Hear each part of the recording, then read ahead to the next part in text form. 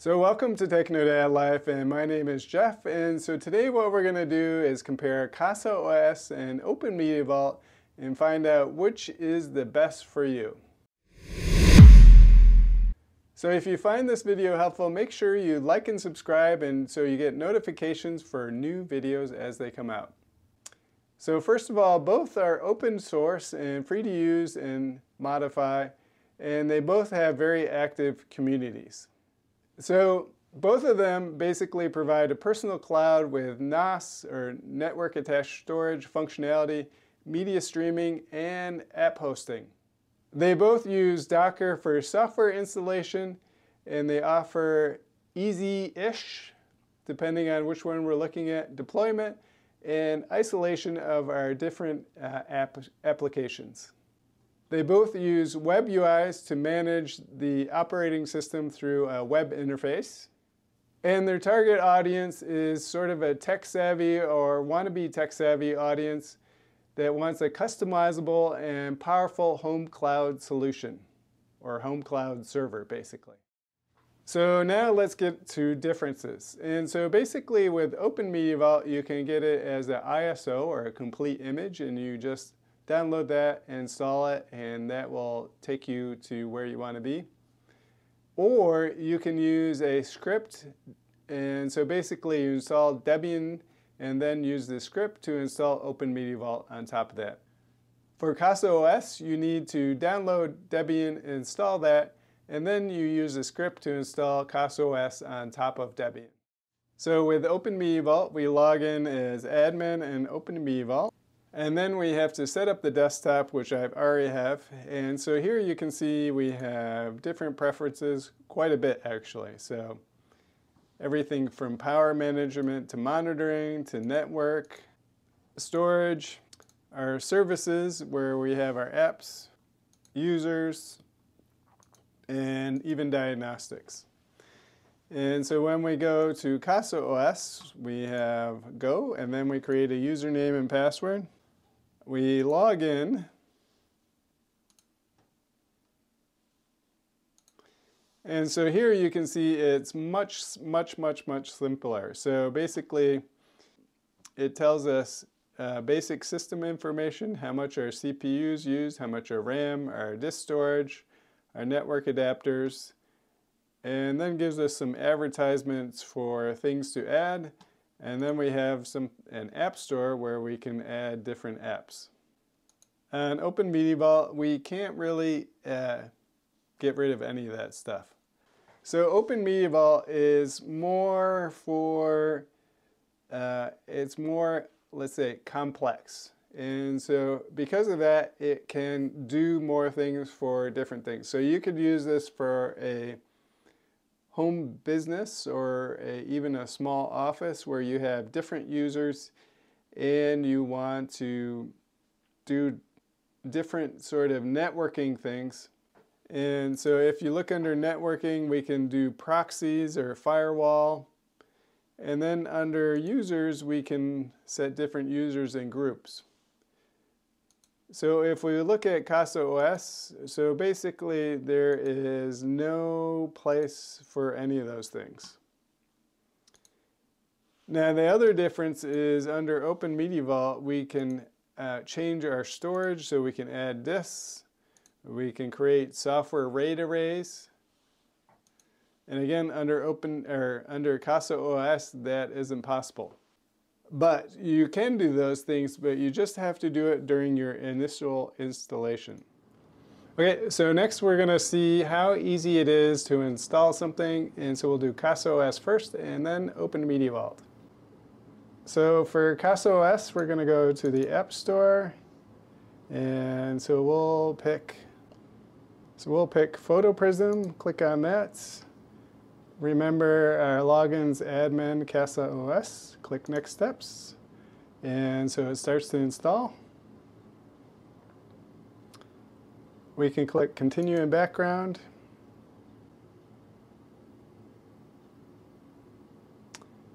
Okay, so it installed. We can look at the settings here. And so we'll check our Photo Prism Photo, if that's there, and Gallery. And so we go to App Data, Photo Prism. There's all the photos there. And go to Gallery, and that should be okay there. So let's open up Photo Prism, and let's see, it was admin Casa OS. So we type in admin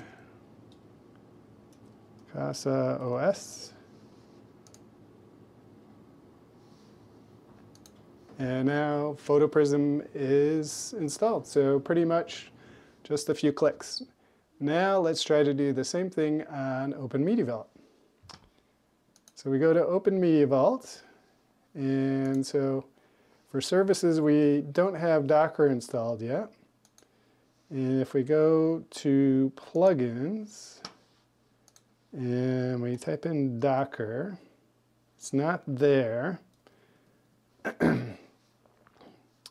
Uh, so what we have to do is get it from Open Media Vault Extras. And so we have to put this in there. And so we have to do that in a terminal. So let's go back here and type in WeTTY. So we'll install a terminal.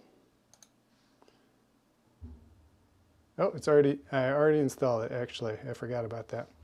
So we go down to Services, go to WeTTY, Open UI, enter our username. And so we're going to put in root. Oh, and it disconnected for some reason.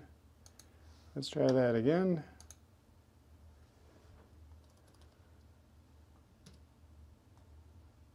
And it says connect to host OpenMeVault via port 22, connection refused.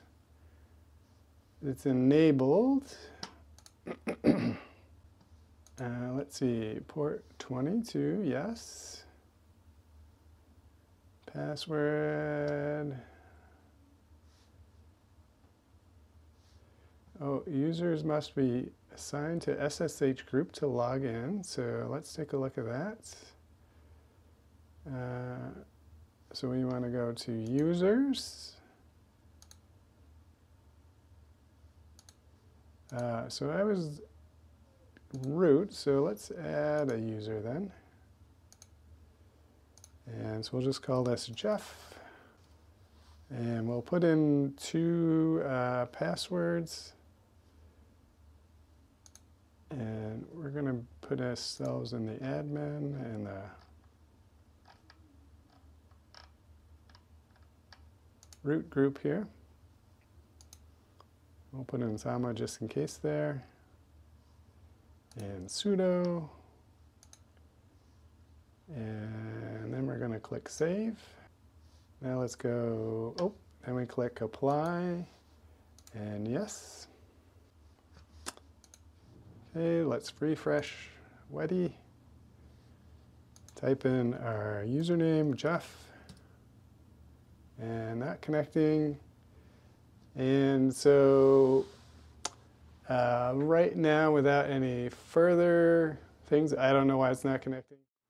Okay, so after a little research, so the WeTTY pub, the plugin is actually actually a Docker image. So you actually have to install Open Media Vault Extras first, uh, SSHing into your computer or to your server, uh, install Vault Extras, install Docker, then you can install WeTTY to actually get the terminal app to work in Open Media Vault. So, uh, yeah, complicated and not easy to figure out uh, without a little Google foo, little Google foo there. So, and then we could install Portainer, and then once Portainer is installed, then once Portainer is installed, then we could actually install PhotoPrism. Uh, so a much more complicated process compared to one or two clicks that was, you know, five minutes worth of work if we could get it working. Now once it's set up, then of course it's much easier to use, but this is a case where if you're just starting out, obviously CasaOS is much easier to install. And so basically what we're looking at here is simplicity versus complexity. And so for a home user, simplicity is key in, in my world where I live. And so something like Casa OS would be a better choice. That's what I'm thinking. Now for Open Media Vault, this would be something more where you have a more complex situation where you have more people and you want to do different things. And so uh, I almost think of this as a small office type of thing, unless you have things that you only want certain users to watch or listen to. So then you could create different user profiles or different users where you limit them to what they can do. On CasaOS, there's basically just one user and then the, the files you can make completely read-only. So basically anybody can read them, but only the administrator can write to them. Now, one other thing about these two, so uh, Open Media Vault has been around for a while. So basically the so basically Open Media Vault and TrueNAS were started by the same person or maintained by the same person. So that's why they're so similar, TrueNAS and Open Media Vault. So CasaOS is something completely different. So basically it is server software that's designed to be as simple as possible uh, with limited uh, abilities, but basically can do all the things that most people want to do out of the box. So which one is right for you? Well, that decision is up to you. Uh, for me though, I'm going to be using CasaOS as my main OS on the different installs for basically the simplicity reasons. So that's it for today. Hope you found this helpful. See you next time. Bye-bye.